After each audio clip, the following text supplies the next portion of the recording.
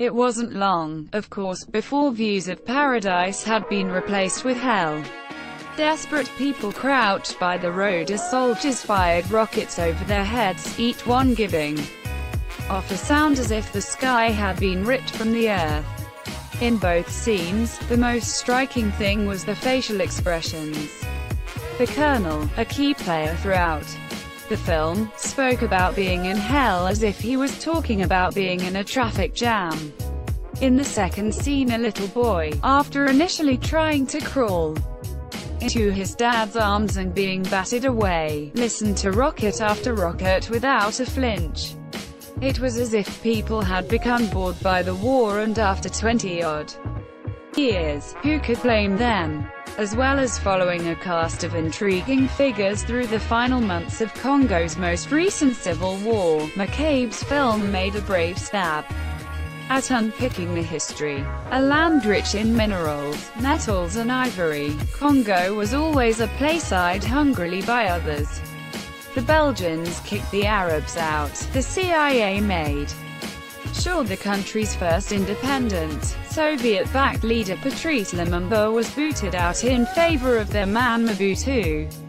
Throughout the conflict raging during the film, neighboring Uganda and Rwanda were continually accused of backing the rebel groups known as M23. As it told the history, McCabe's film painted the paradoxes of the place in big, blood-red letters. A rich country, full of grinding poverty, a land everyone wanted a piece of but where no one wanted to live. Through its human stories, it showed people at their best and worst. A dazzling lady known as Mama Romance risked her neck on trips to sell precious stones, an illicit trade that had helped her feed and school her kids.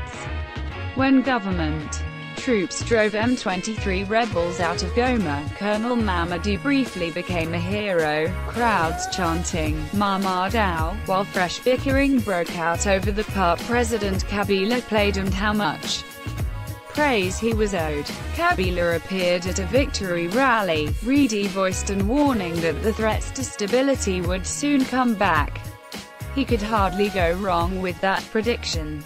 Predictions, projections, calculations, somehow we feel such cold, hard number stuff shouldn't have anything to do with saving lives.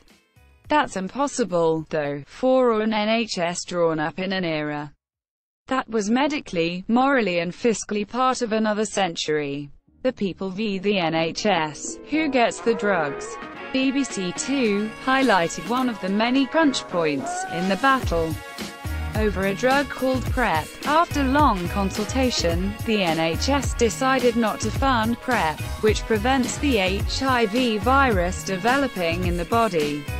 Supporters of the decision said taxpayers shouldn't fund gay men to be promiscuous. Opponents said it saved lives, saved money on years of costly HIV treatment, and stopped a killer disease spreading. Dedicated activists including Greg Owen, who funneled PrEP takers towards Indian suppliers via a website run from his mum's kitchen, banded together to fight the ruling.